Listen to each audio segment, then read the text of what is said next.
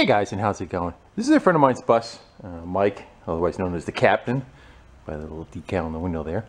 This is a 71 VW bus that he's had for about 15 years, and I've probably been working on it for about 15 years. Did an engine on it at one point, a bunch of other work, and uh, other than needing paint, it's fairly nice and clean. California bus, I believe. Uh, it has one issue, and it's here to get that taken care of. Well, that and a couple little small ones. Pops out of fourth gear. So we are going to pull the engine, pull the trans.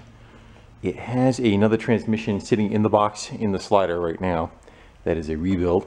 We were going to try fixing what was in it, but I did not want to take the chance of it having an issue and having to do it all over again. So this is the last of my commitments that I've made to friends of working on their vehicles. Uh, and I've been putting it off for a while, so I want to get it knocked out. And if we could turn the camera on, you guys can hang out with me and we'll swap a transmission in a old VW bus. All right, let's get set up and get into it. All right, so this is a 1600 dual port. What that means is uh, the cylinder heads have two ports going in instead of one. It's the largest of the 1600s that came from the factory, and I think it's the only year the bus got it. Hey Mike, you missing a screwdriver? I don't know what that noise was, was he? I'm not going to show every little bit of removing stuff because it'll take the video just uh, much too long, but I'm going to go pop the air cleaner off, the rear tin out of the way, and we'll start getting into it and see what we do get to show. The main part of it is going to be, you know, doing the transmission and hopefully test drive afterwards.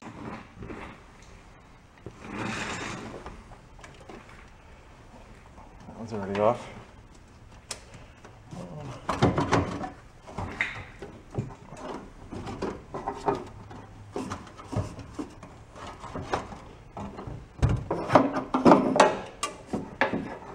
Makes a little elbow room. Took the bolts out of this rear pan. And a lot of times you take the rear bumper off and get you clear access straight in and out. This one has all the original stuff hooked up onto it. Not that we can't change it, but if we work our way around it, I'd rather leave it. There's enough room to get it out. Here we go. Hold on. A little more room.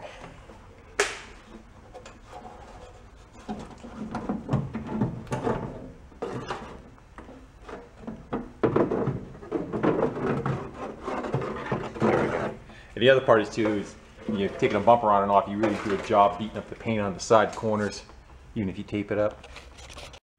Mike thought he had a uh, muffler leak. This is the preheat, this coming up right here from the muffler, and it preheats the intake manifold. It's actually part of the intake manifold, and it is rusted right off. The intake manifold's no good.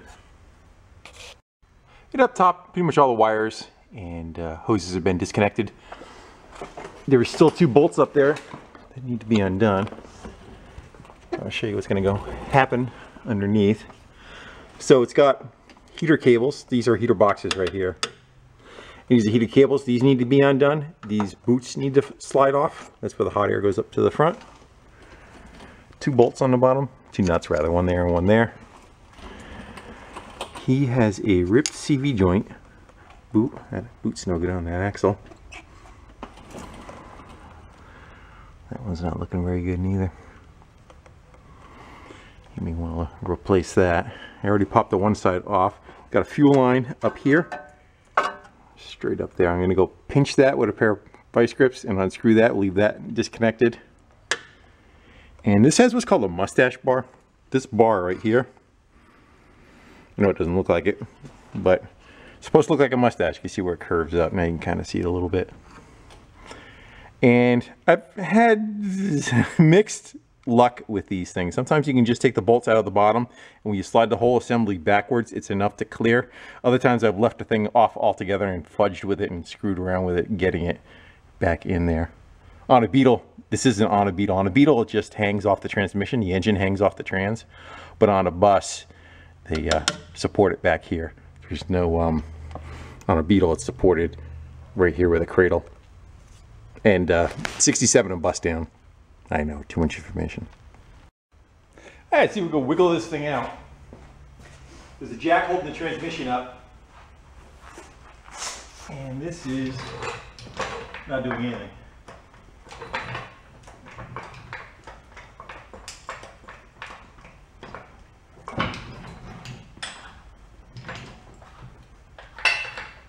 trying to grab it around the oil strainer and I have a a cap made up on my jack that cradles it correctly, hopefully.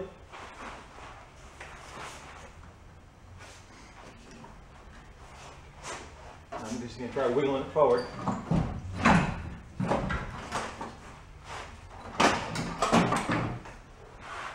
Let it down as far as I can.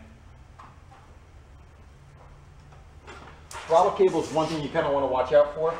Although you have it removed, has a tendency to want to hang up.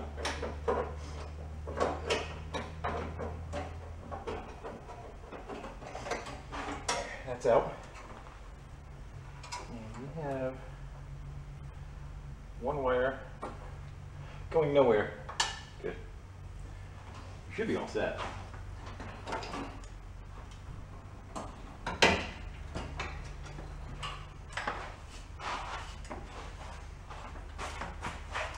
I'm gonna spring the whole bus up. Train's is gonna hang, but it should be okay.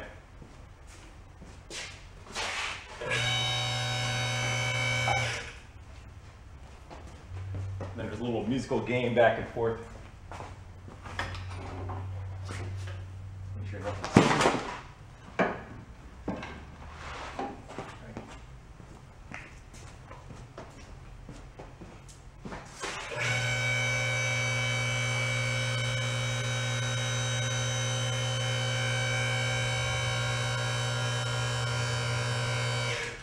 I'm just looking for high enough to clear the rear bumper with the fan shroud.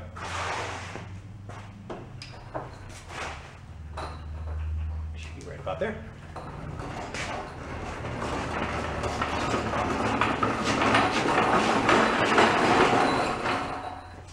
We got a new clutch and stuff to put in it too. Ah, it's going underneath and see how things look. I believe we have a new seal. That one's shot. Big thing with VWs is you, do not want the hot air that gets expelled out from under the engine coming back up to the cool air up above. So the seals going around are fairly important. And I do believe he has all new ones. Those are shot too.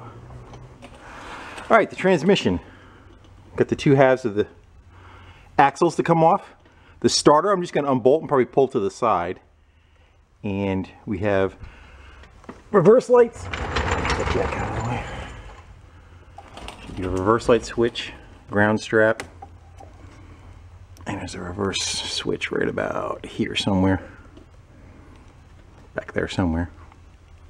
And then the motor mount or trans mount up there. And that should be everything to get that free. So let me get to getting with that. So I got my little buggy under here, little hydraulic floor jack with a milk crate. And hopefully it'll work good enough to support that trans going in and out. The only thing holding it is the rear motor mount right now. That looks pretty good. Get that unbolted, we should be able to slide that right out of there. All right, hopefully this comes right out we don't drop it on the floor. I might have to have you guys move up back a little bit. But let's see how this works. Up. I forgot the shift coupler. I heard the shifter move upstairs, up front. Whoops. All right, see how we do this time.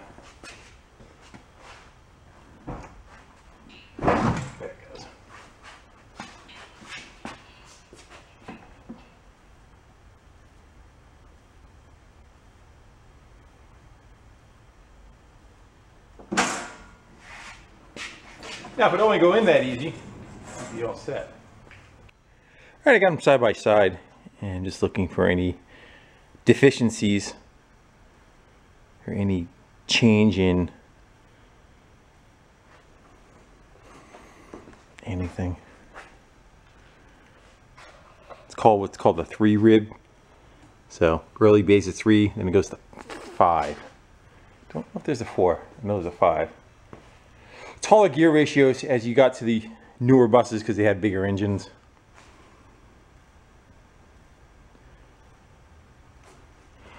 You got some new parts for it too. Got a rear trans mount. One of these is the correct one. We gotta go check on the bus. See what's on there. New clutch. Some stuff that we need that we don't have. and fluid. Main seal. I think we got a new. Should have a new clutch cable. I think I asked him to get one. Might be might be that right there. Looks like it was leaking down this side. Pretty wet down below there. Other than that, I don't see too much of an issue. That, you know, popping out of fourth gear is an issue, but. All right, let's get reassembling. Let's see if we can fight with that throwout bearing. These are always a little bit of a challenge. Trying to get the spring clips to. It's got spring clips on the side, and this has to spring out and catch around that. I should think I need a regular screwdriver that I don't have with me. All right. It's got uh, these little spring clips on the side, and they have to be able to hook around the side of the lever. These are usually a tad bit of a pain. You stab yourself in the fingers a few times trying to do it.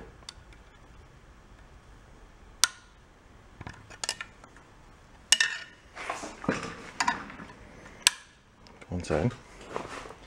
But generally the first side is the easy side. they have another style that the clips are free floating. Those are really a pain. Yeah.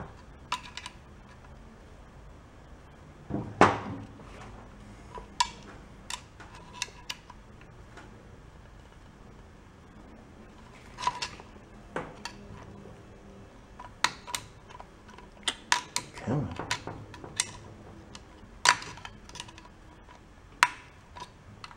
There we go. Everybody stay still. I'm just gonna function check that.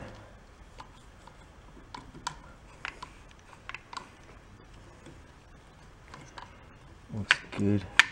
And I'm gonna put a couple of drops of oil up inside here before I put it together. Just on the pivot points, we can get rid of that. And our next item, let's go check the reverse light switch, which is over here. looks like it took a hit. You see it's painted black. Let's go see if we can bend them back up. And as long as they stay, don't get damaged, we'll use that switch.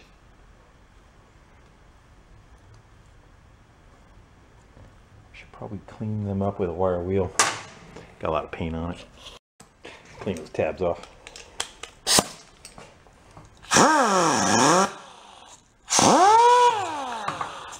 Nope. I'm afraid of. I'm gonna go change it out. Start with the old one first.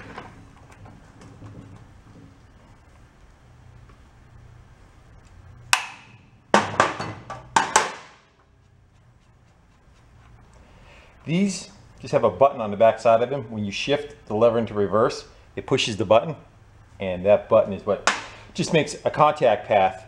I believe it's ground. I don't think it's power on this side. I think it's ground. I'm not positive of that though. Uh, continues the path. I think I should look that up.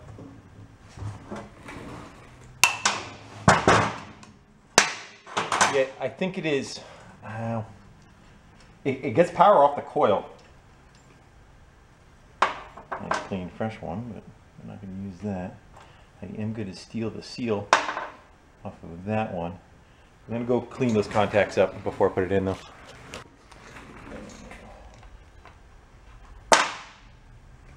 We'll send that one back to them. They can have their broken switch back. Should have drained the fluid out of this before I took it out. Not that's that big of a deal, just would have been a little easier.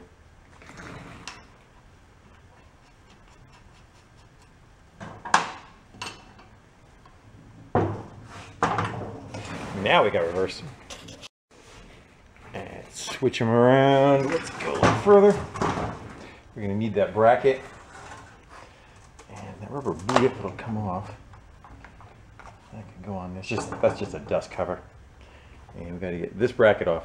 It's like a job for impact.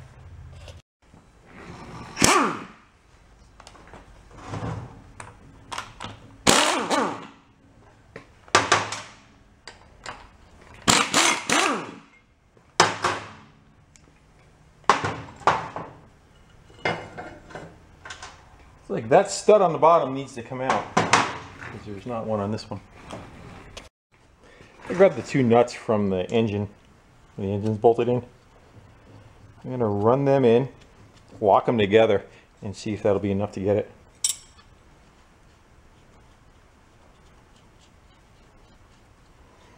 Now I'm going to jam them together. Wrong way.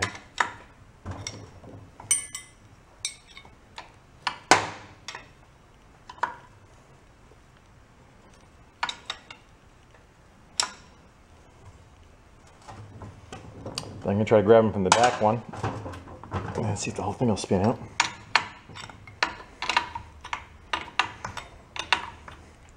Gonna need some thread locker too.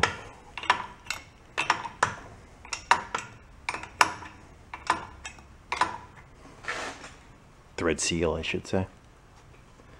Here we go. The fluid's gonna piss out.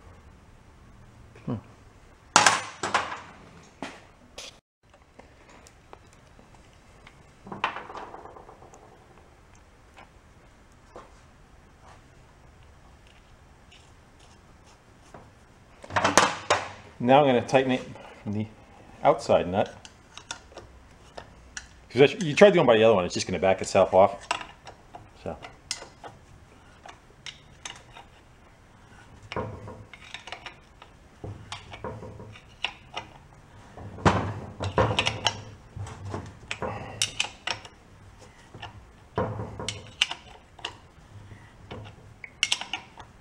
Maybe about one more. All right. We'll call that good.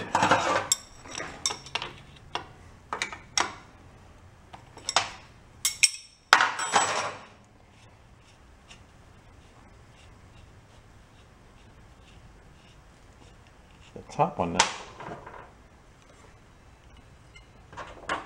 We get started first.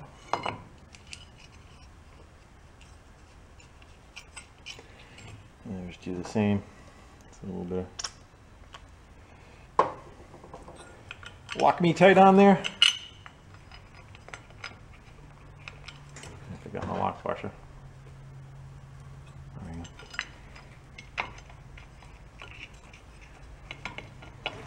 Use our friend. Air.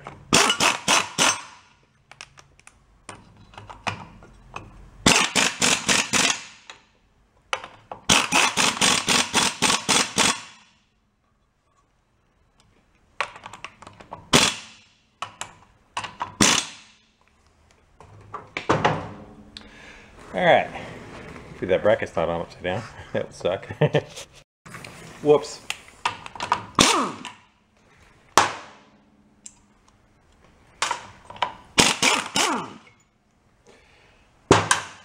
Sometimes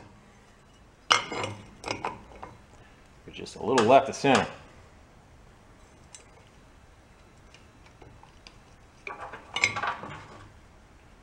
Guys are yelling at me.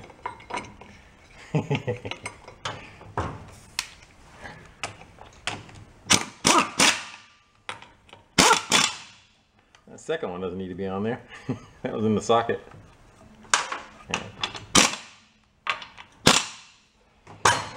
Snug them up with a wrench and we're good. This thing, this is the bracket for the clutch cable. I call it a preload tube. Uh, it's also called a Bodine. Bowden? Bodine? That's the bracket that holds it. But the tube has a curve to it. It's still under the bus. So it's a plastic and metal tube that comes from the body and it has a zigzag that comes up and then to here.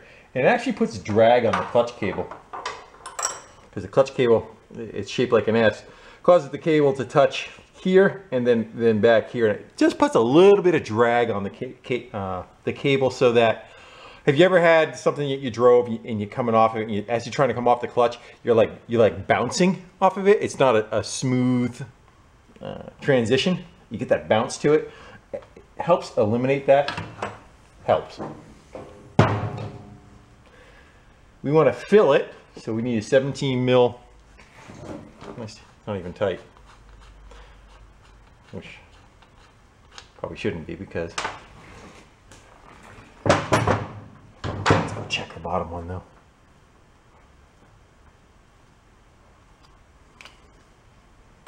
There's a couple places you could drain them. There's one in the back to a small one. All right, we need the tool anyway. You can just make sure that, you see it? That one's tight. It holds roughly three quarts of gear oil. I'm gonna fill it now because when it's under the car, it's a little bit of a pain in the ass to do.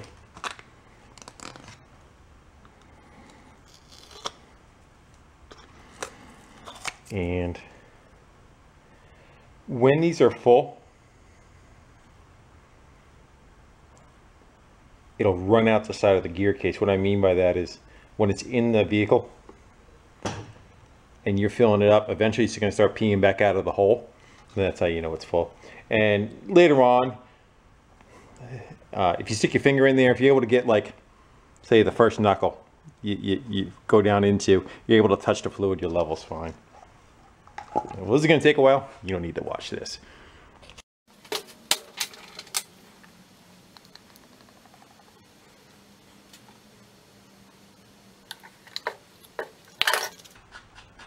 That was smooth. And now for the little Allen wrench. Don't need to kill it. Good. I'm not sure how well you, me, and the transmission are going to fit down in there. We'll, we'll attempt it for a little bit. Get it lined up a little better. Where an extra person would really be handy.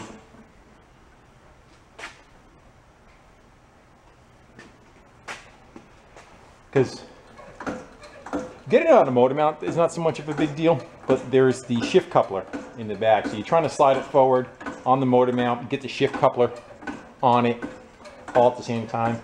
And sometimes it's easier just to have somebody up front where the shifter is to put it. You want to move the shifter forward, moves it backwards. So you can kind of line it up and have the person up front move it so I'm going to do my best, unless one of you want to go up there and grab that for me, to wiggle all this stuff in there.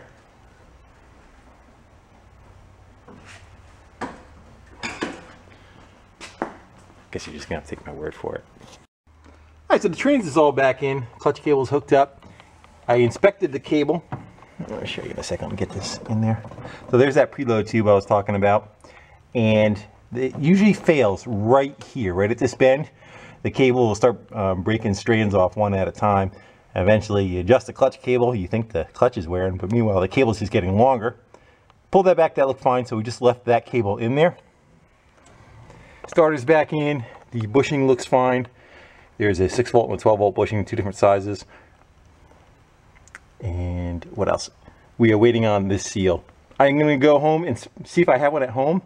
Was, if not, I'm to have him go chase one. But that is gone and there's nothing left there for doing anything of any kind of uh, sealing. So that's it for tonight. We'll pick that back up. It'll be a minute for you, but it'll be a day for me. And it's the next day. I found the seal at home. I had one in my stash. More importantly, here's the old trans. And as you can see, there's a little bit of metal coming out of that. It's a good thing we changed it. It had more issues than probably expected it to. At least it had fluid in it. Well, yank that transmission off. Put in bags, put it away. He's got to go drop that back off as a core. So we're going to start on the engine, getting its issues taken care of. And one of the things I just wanted to talk about before I take it apart. The last video I did was the go-kart, the commercial go-kart, and I was talking about free play and the brake pedal. And I also said the clutch, and a couple of people asked, what do you mean by on a clutch on free play? So this is the fork when you push the pedal down. This is the throwout bearing. This pushes in on the pressure plate, takes these fingers, and these fingers hyperextend the opposite direction. The disc behind it now is able to spin free. That's how a clutch works. When you let off the pedal, the fingers come back out and it puts pressure back on the disc and it now locks the disc back to the flywheel and makes the transmission spin. Well, it uses what's called a throwout bearing. It's a roller bearing. And if you did not have free play, if it was really too much, you'd be pushing in on the clutch and your clutch would actually be slipping because this is still influencing it. Free play is having it so that it is actually off the fingers just a little bit. Because if you have it touching the fingers, that means that bearing is always going to spin. It's never going to stop spinning, always going around. And over time, it'll burn the throwout bearing out. So the idea is you push the clutch in, the bearing's doing something. Then when you let off the pedal, it stops the bearing from spinning. It makes it last a lot longer. Some people that rest their foot on the clutch can cause them to burn up too. All right, enough of the information. Let's get the uh, clutch off, flywheel off, and do the rear main seal. Normally on a clutch, what you would do is you would back the screws off evenly and let it come out because you'll see these fingers. When I go to take it off, they're going to start uh, creeping outward as the pressure disappears from it. This is an old clutch. The new one, we'll worry about that, but the old one, we're pretty much just going to buzz off. Last one I'm going to take out is going to be the, the top one. Watch the fingers. You'll see the fingers move.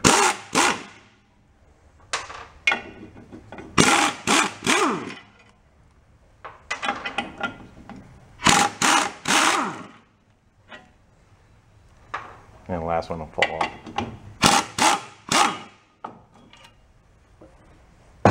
see what we got for wear.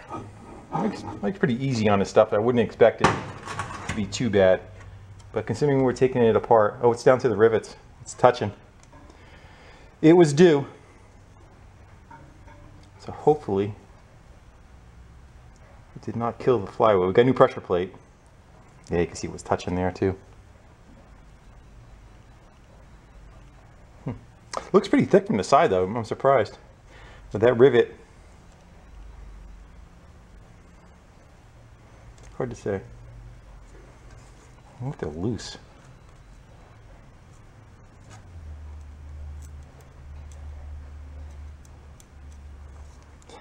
That may have not been just made very well. A little bit of hot spot on it, not terrible. Pressure plate actually looks fairly decent. I think a whole clutch setup is probably about $110 or so. All right, so we got to get the gland nut off, take the flywheel off. The nut in the center is 36 millimeter. It's actually the same as the uh, hub nut in, this, in the back of VW Beetle rear drums.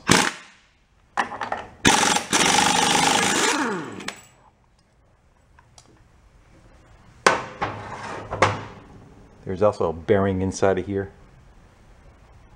Yeah, feels good.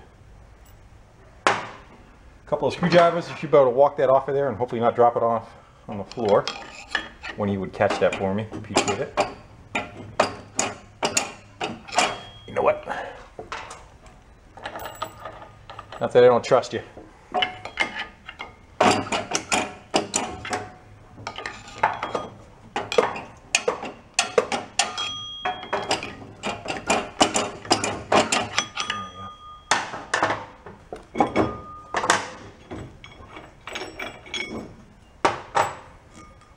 there's our seal.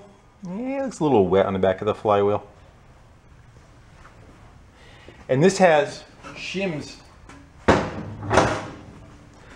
It's got shims on the back side. You can actually shim the, the end plate of the crankcase. And I think it's between three and seven thou that you want. A little bit of end play. And let's pop that seal out of there. It's a regular screwdriver, nothing fancy. If you can catch it on a, a dowel, it'll push, pull off of a dowel.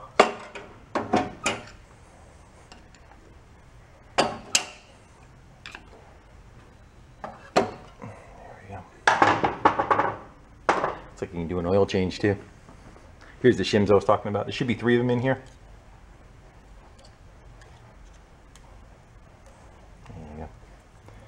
And by adjusting those shims is how you would adjust that end play. Yeah, thicker or thinner takes up the space. Sometimes the flywheel will get a groove cut in it, especially if it's something that's been leaking real bad. The flywheel, you know, where the seal ri rides against, will get a groove in it. This one seems to be pretty good. But my point was if you had a groove, you can influence the seal. You can let it sit a little bit more prouder or sink it in a little bit. This was in just a hair. I just pretty much go flush with them.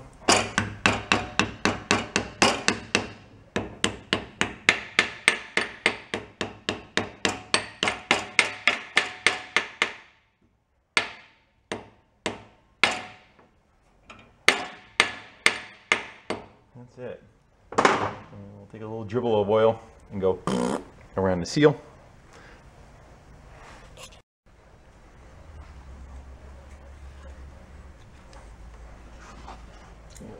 Stick my finger in the arrow. Just give it a quickie. Quick little lube. So when it first fires up, it's not bone dry. There's also the flywheel itself. Uh, has an O-ring. I do not have one. It's actually two O-rings actually. There's one sitting right in the groove right here. I'm gonna give that a quick inspection, make sure that's okay. Here's where the groove I was telling you about. Sometimes they'll get a groove. If they get a groove cut into them, you can kind of influence where the seal sits a little bit by just jockeying it around. And the gland nut has a seal on it, also an O-ring.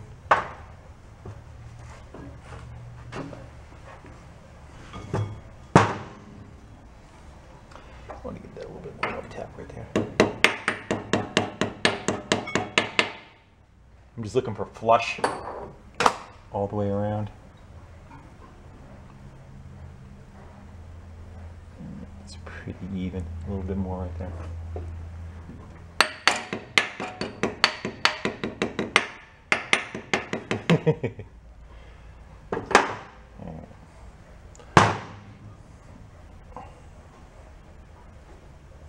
Just looking at that O-ring real quick. Make sure there's no tears in it. Believe it comes in an engine gasket set. It looks pretty good.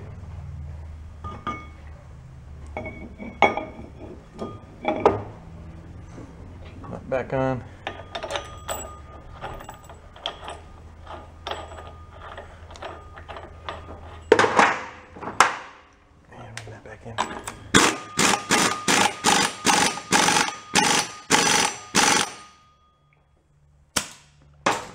Yes, there's a torque.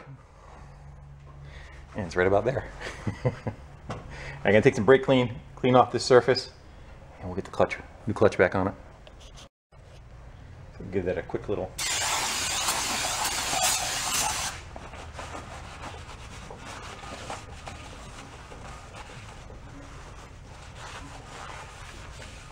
What happens is the main seal can leak and or that, that rubber uh, O-ring I was talking about can leak and oil gets onto the clutch and causes the clutch to slip too. It's generally got to be pretty bad for that to happen.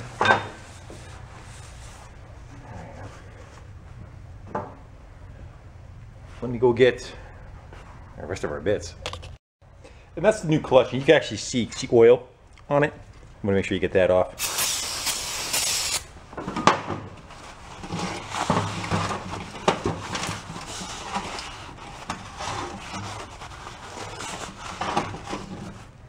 You try working in front of a camera.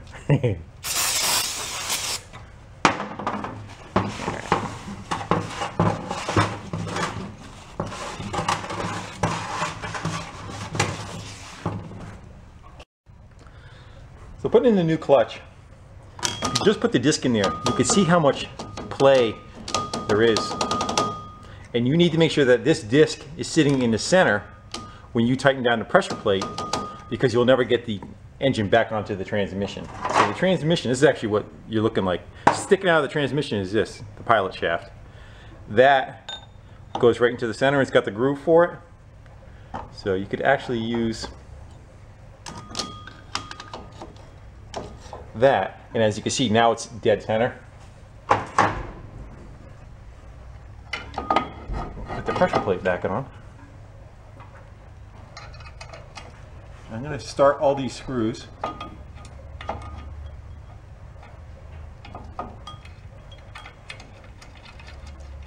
going to get all them started and bring you back.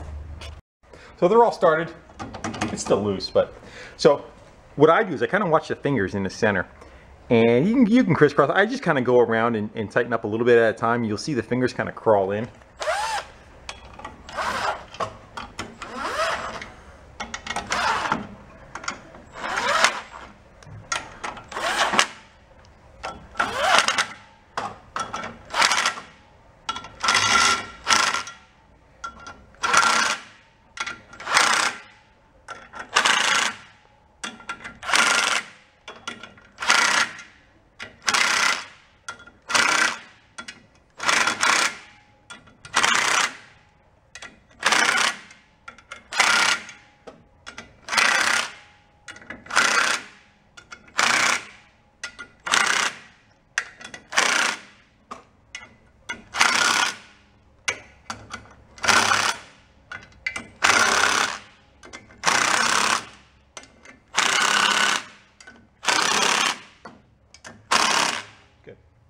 We're gonna go back with a ratchet and just make sure each one is tight.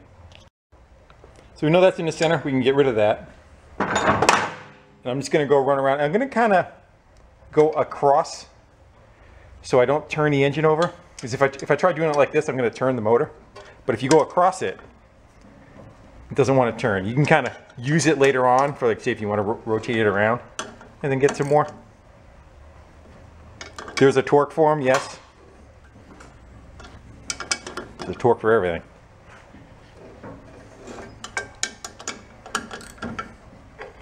But sometimes you get a good feel when you do it a long, long time.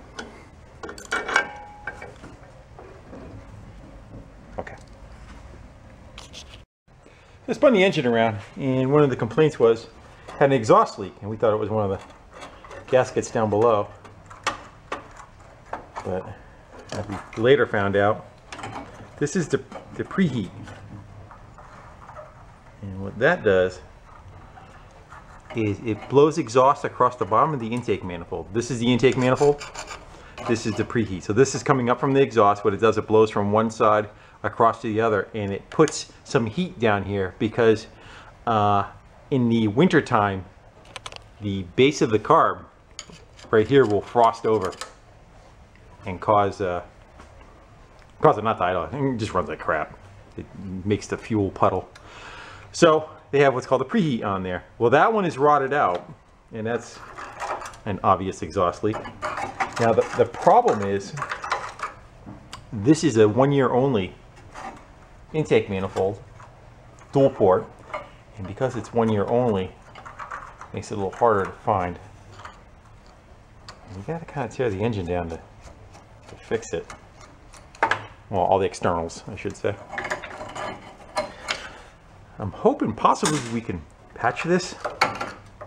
So, and again, what makes it one year only is this bus 71 has power brakes. And so there is an output right, where is it? Here's the hose up here.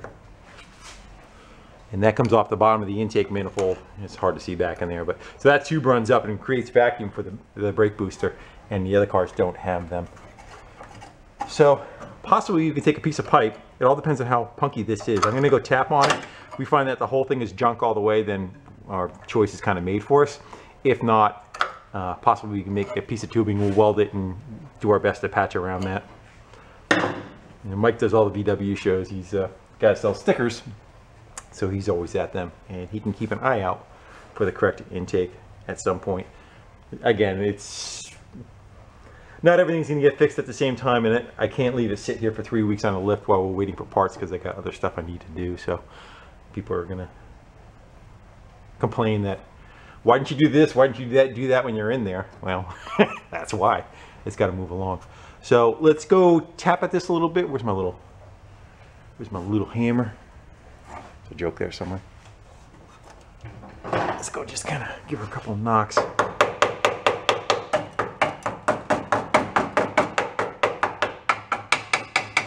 Another thing that happens too is they get plugged. They get plugged up with carbon and air won't blow through it across it. So I'm gonna go hit it with an air gun and make sure that that passage is still good through there. And it, this is generally where it kind of fills up. Right in here and the same on the other side. Might as well take a peek at the other side real quick. Like fixing something and then looking further down the line and seeing it's got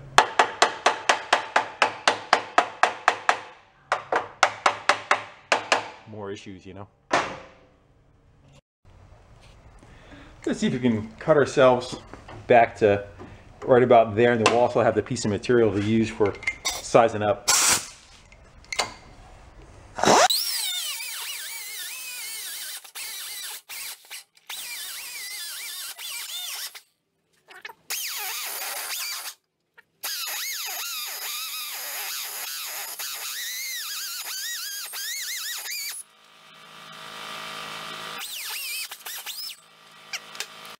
I'm gonna take an air gun, I'm gonna blow through those passages.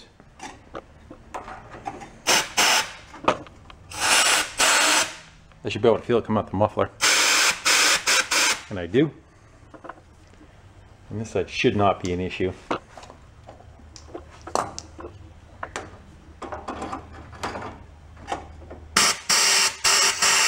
And that side blows out the muffler. Okay, so the passage is clear. Now we just gotta Fix that boo, -boo. To the stash pile we go. Not gonna be that easy, is it? It's a little enlarged, so we'll keep that in memory. And we want steel. That's got a little too small. That's a piece of bicycle frame. It's decent. We'll keep that in memory too. Actually, we'll, take it right out of the stash. I got a couple of bushings over by the by the lathe. Yeah, I don't see anything more here. Put that piece of jack handle right there. That's almost the same size.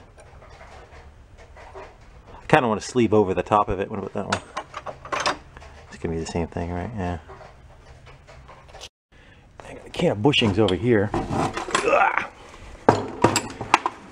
go see if any of this stuff is going to play well. Well, this, that's super thick though. Probably, I think all the little pieces generally go to the bottom. something like that. That's the same size.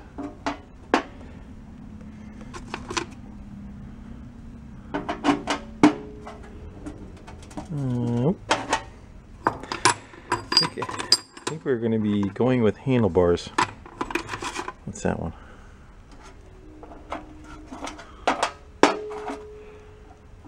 That's close. It might be able, uh, it's not going to be long enough though.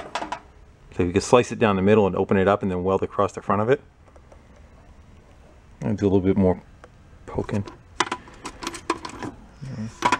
Devices save the life every day.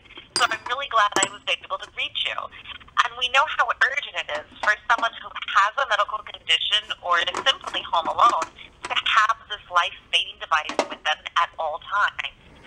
And that's why we are committed to helping as many people as we can get this device. So are you interested in hearing the details on how we can get you or a loved one a free medical alert device today? Yeah, put a human on the line, would you?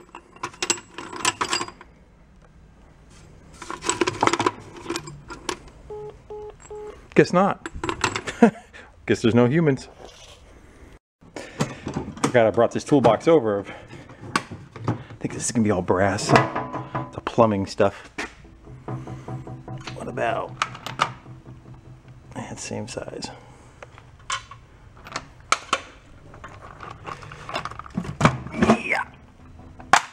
pretty much gonna be all copper.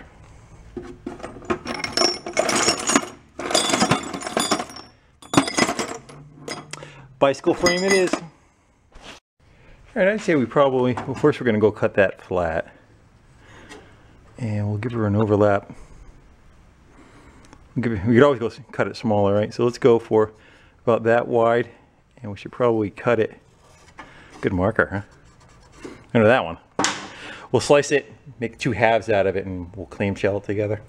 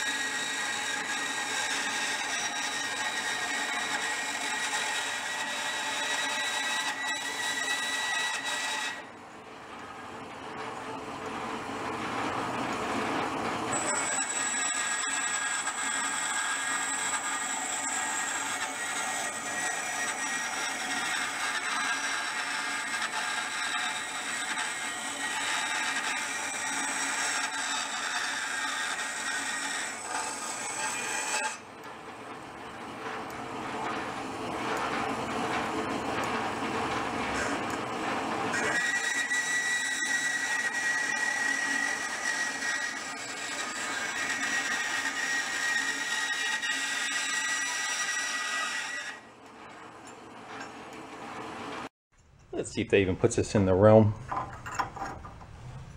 How much slop do we have? I am going to take and grind. I'm going to grind a sliver away from each side, try to close this up a little bit. And we'll prep all the metal around it. Let's knock off about, about that much should do it.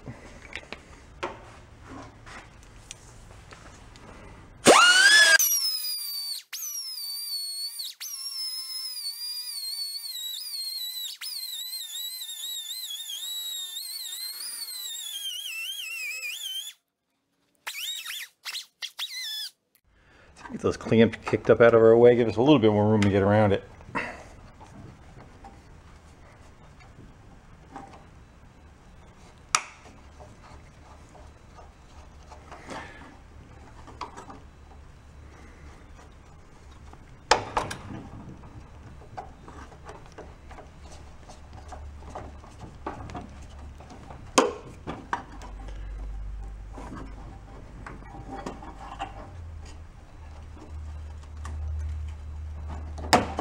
You get the idea. So we get in there, do a little prep.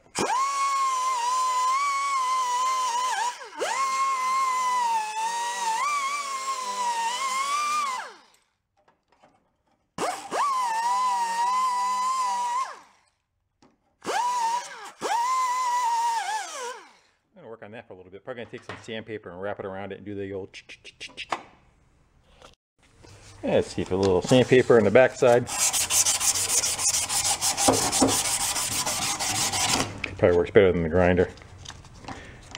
Get in there. Prep that all up. Alright, so let's see what we have going on. Make sure I got the combination right. I think that's it.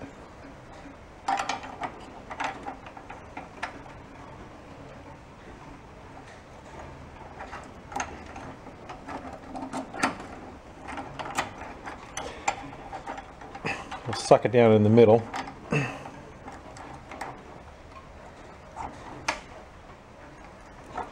Weld up a seam and then we gotta spin it.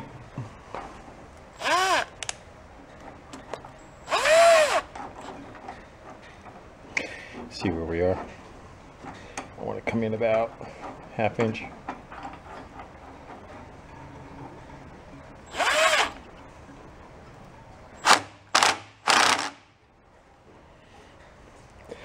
So I'm gonna buzz this seam, then I'm gonna spin it around, we'll buzz the other seam, then we'll work on the edges the best we can.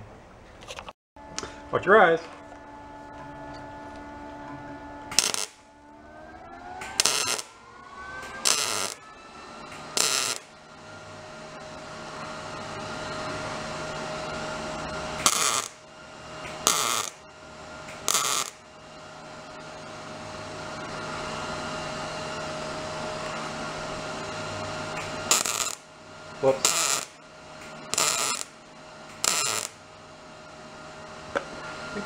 Clamp to it.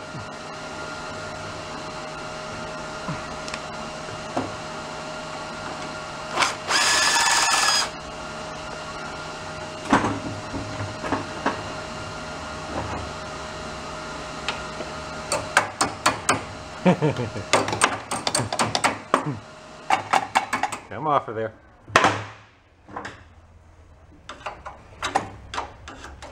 You know she's a tad warm.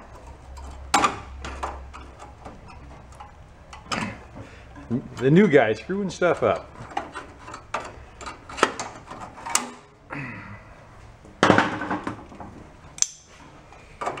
Can't take him nowhere.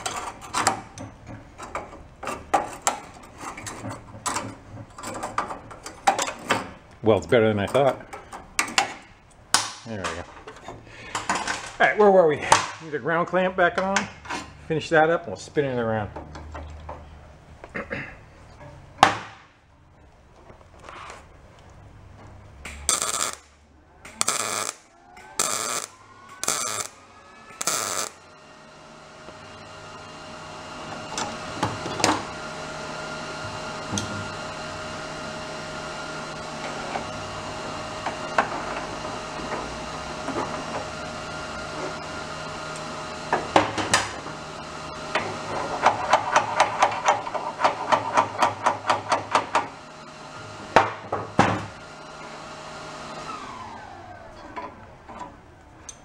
May help hold that together for a weld or two.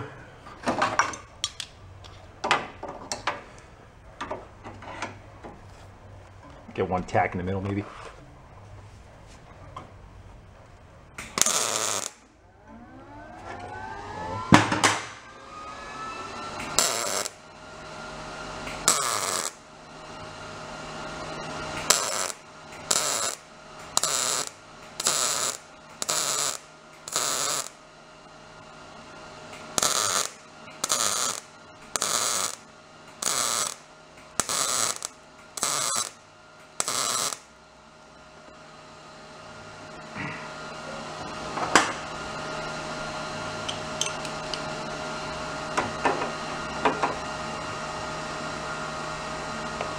I guess it's staying right there.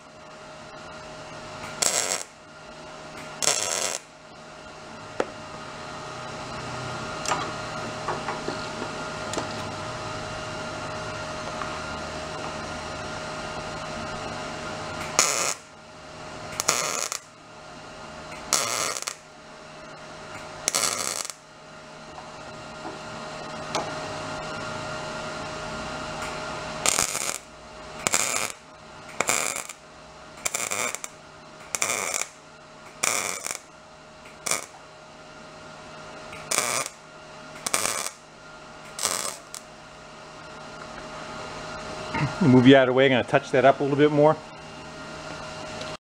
So I got, this one I got 360 around, this one I got about 80% the way around. I was actually able to come in behind here with a welding gun and, and, and get it. I don't think it'll be much of a leak if it leaks at all, but we'll find out. I'm gonna go clean it up a little.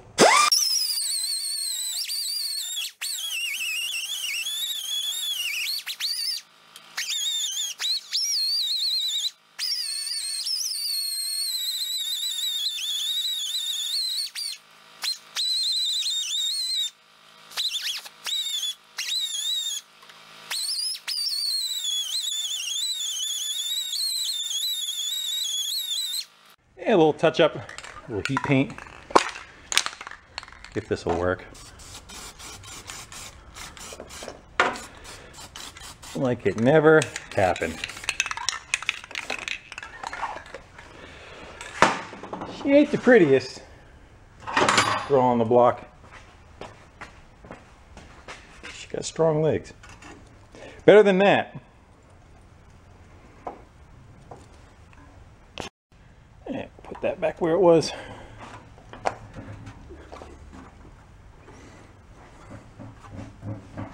These are two separate pieces. These are boots that connect them. They generally stay pretty good unless they get oil soaked. Or super hot. Get in there. The other side has an oil leak. It's coming from the oil fill. We're gonna see if we can tighten that up.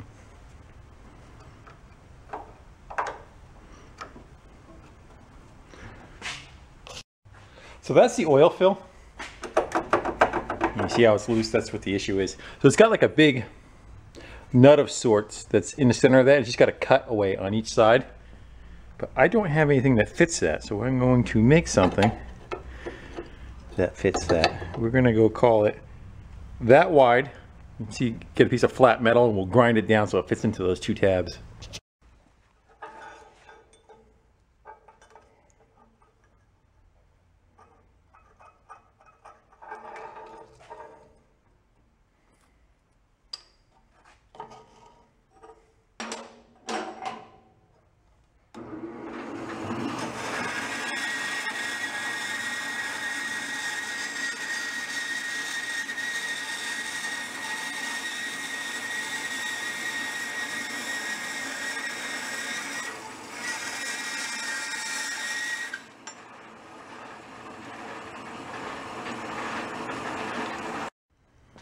See how well this works for us. Fine tuned it a little.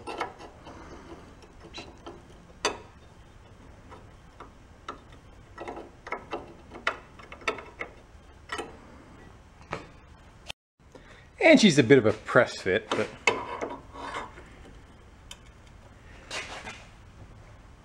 let's see how that does for us. I would say that's tightened it up. And we'll save that for the magic VW drawer. Tools, I tell you. Hey guys, I'm gonna go pick it up a little bit. I'm gonna go adjust the valves, change the plugs, do some stuff like that, some tune-up stuff. Nothing fancy. I'm gonna probably skip over that to move this video along because we still have to get the engine back in and you know road test and all that kind of happy stuff. So, see you in a minute. All right, I lied. number one is tight. So this is number one cylinder and the rotor on the distributor is pointing at number one. This is a six thou feeler gauge. Can't get in either one. You gotta wiggle them. This one doesn't even feel like it has any play whatsoever. So it's definitely due. It's pretty much every other oil change. You're supposed to adjust the valves every six thou. Far cry from today's cars, you know.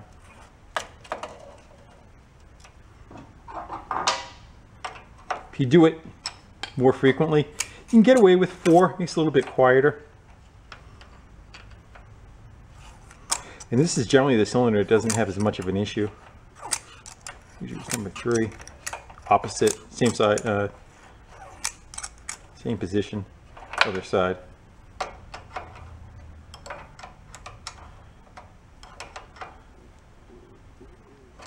That one might have screwed it up. tad too loose. Again, too loose essentially just makes it kind of noisy. Doesn't really affect it within reason.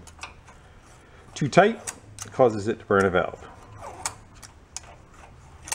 We don't want that. Sometimes what it does is it, right when you go to tighten it down, it'll turn this, it's trying to do it now, turn the screw. So you gotta, we'll call that good. I'm not going to show you unless I find something really funky, but I'm going to go do the other three, and that's done. Even the valve cover gasket was uh, wasted. That's how it was sitting in there. And so it's all buttoned up. New plug wires, plugs.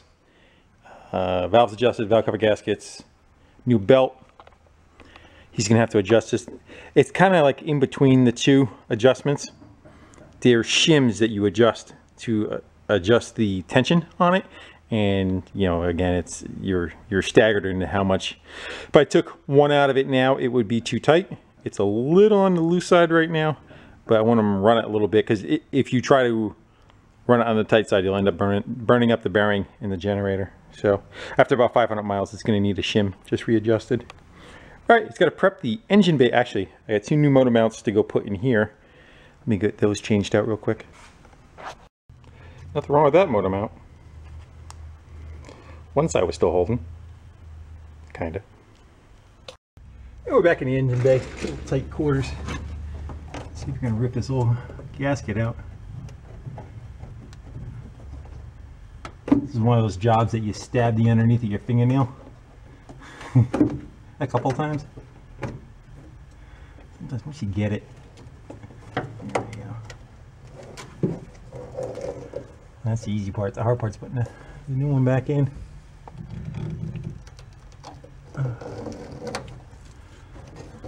Bet you that was original. So I'm gonna go take a couple minutes, to clean up that track and, and fix some of the dents that are in it so that we can get the new one in. Two ways to try to install it. One is you can go around and crimp it, kind of try to feed it all the way. The other way is you put a little bit of a taper on like a leading edge, silicone it, and try to pull from one side of the channel up and around.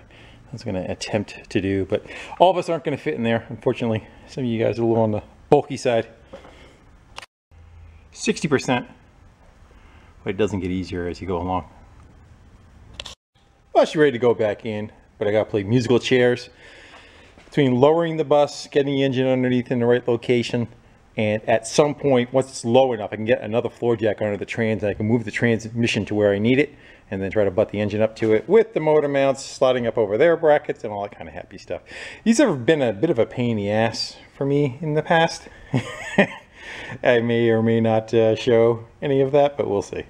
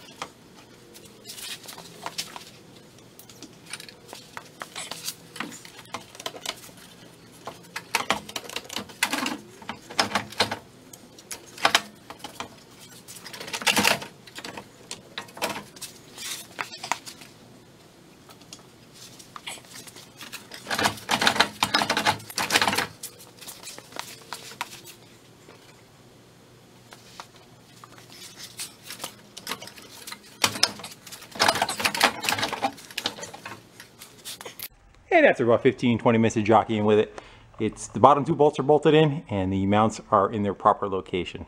All the floor jacks are out. Now we can lift it up in the air and just essentially reattach everything. Here's the lift setup.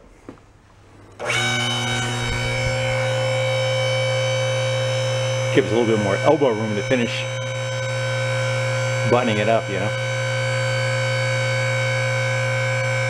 That should be good. So we're up underneath. I just get them adjust, adjusted the clutch, and if you actually listen, we support you a little bit better. As I pull on that, you can actually hear the uh, throwout bearing hitting the back of the pressure plate. So it's probably, usually up by the clutch pedal itself, you want about, at the pedal, eh, half inch, three quarters of an inch, something like that, and that probably transfers to, looks like about a quarter inch back here. All right, we should be good enough to run. Other than a couple of hoses on the back and the rear tin, I think we are good to rock and roll. Just give me a heads up you see fire or, you know, any uh, fluids hitting the ceiling. And other than that, let it rip.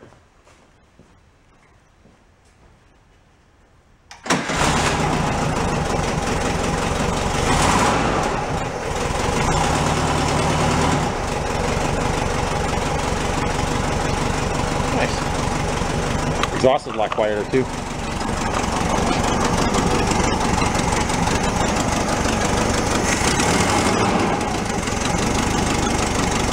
I see a little bit of puffing on the back side of it, but it's just the one area I couldn't get to.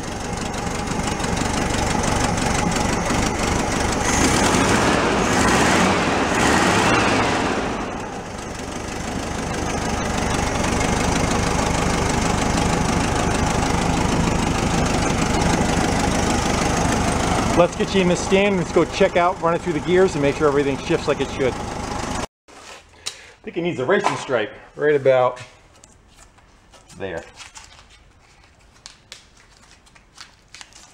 Just so we can see how the drum is spinning. Shall we?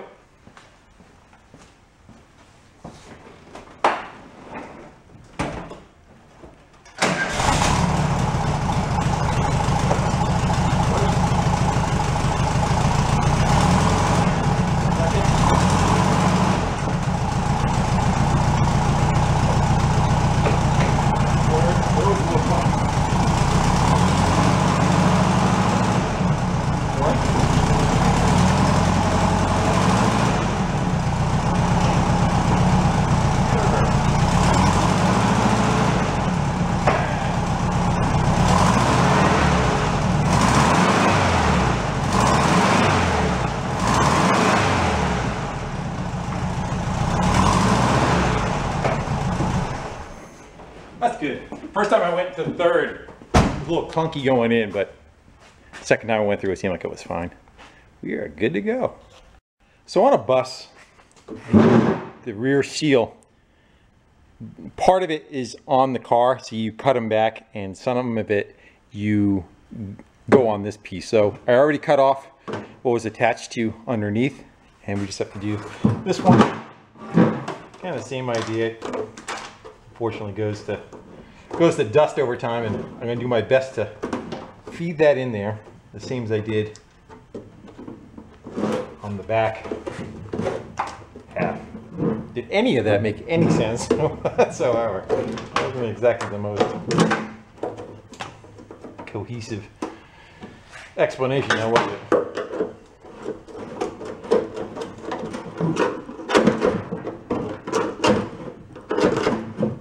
the right below, below here. The muffler stays in this area, so this area it's kind of baked. And that's why the seal is there though, because the seal, you want to keep that hot air from coming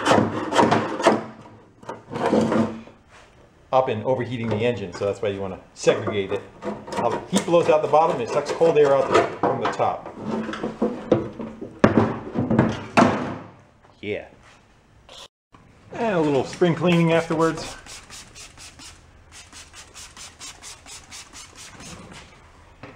Found a an extra eight. I should do bumper first. I found an extra nut and, and stud in a nut. And wandering around trying to figure out what did I forget.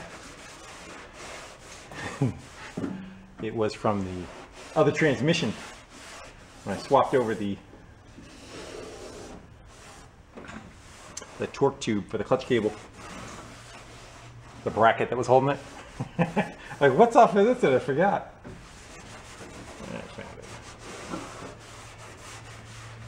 That is it.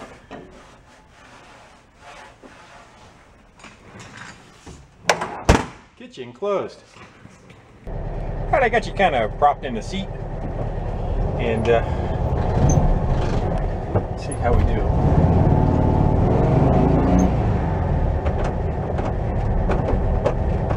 I going in a second.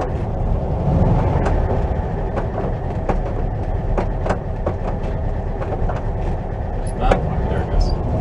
Fourth. Second.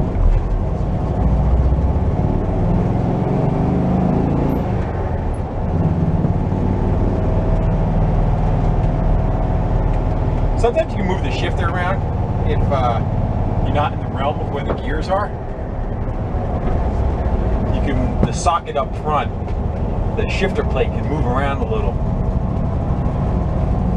Let's run it a little bit, see how we do.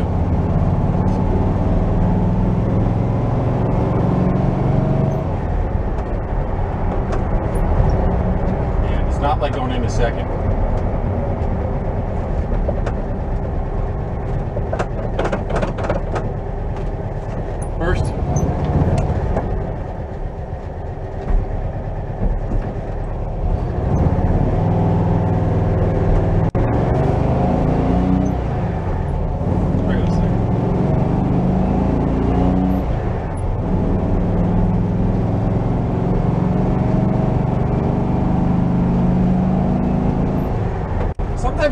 A little bit too, just for the synchros to kind of get lube underneath them and spin them because it was shipped dry.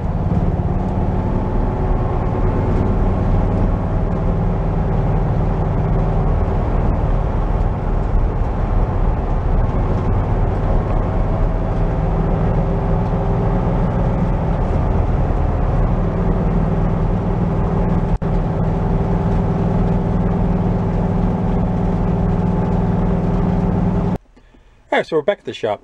I found if you hold it way over, it'll go into first and second real easy. If you just try shifting it normal, then it won't go.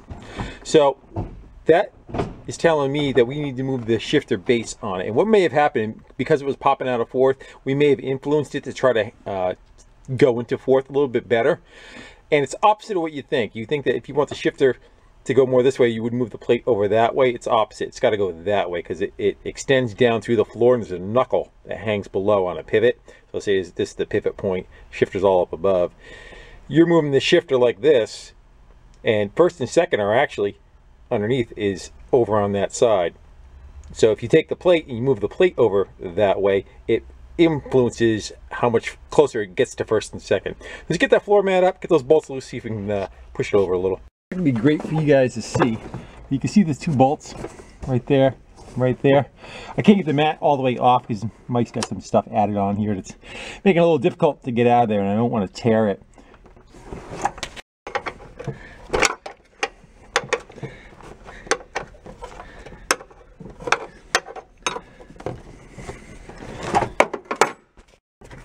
Let's get in there.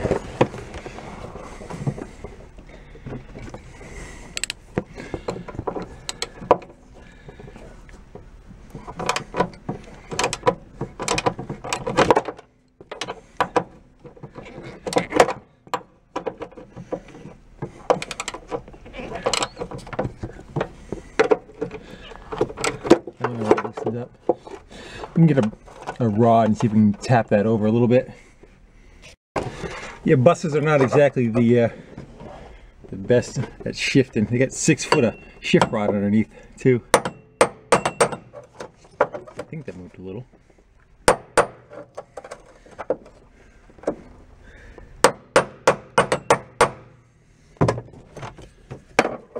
Nice, how we tighten that up. Get a little feel, see how it is. And worst case, you can live with it the way it is. You just got to know how to pull over to the side, but I'm not happy with leaving it like that, so hopefully this fix it. Might as well give her a quick inspect, make sure everything's doing okay. That air clearing clamp can go down a little, sitting up a little high. I don't see any drips on the floor. That's good.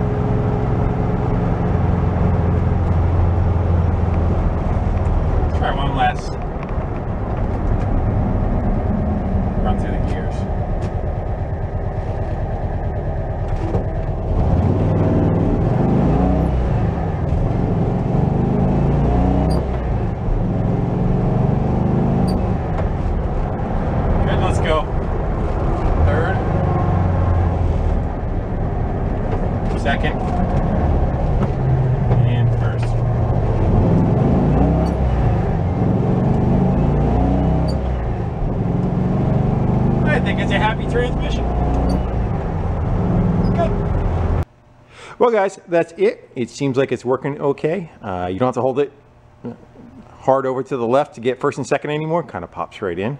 And you don't have to hold it in fourth gear from, it popping out. So Mike should be happy with that. He's got a couple things to go chase yet. That intake manifold, CV joint on the one side is torn. And if he does seem like he has any more shifting problems, we should probably do a coupler. And there's actually some bushings in the front that you could change out too to uh, get rid of some of the slop. But with that, I think uh, Mr. Bus should be happy. Camper? I don't know if that's appropriate. It's not a camper. Anyway, I'm tired. Guys, I'll see you in the next one. Thank you for so much uh, hanging out with me and uh, doing some wrenching in the garage. Later.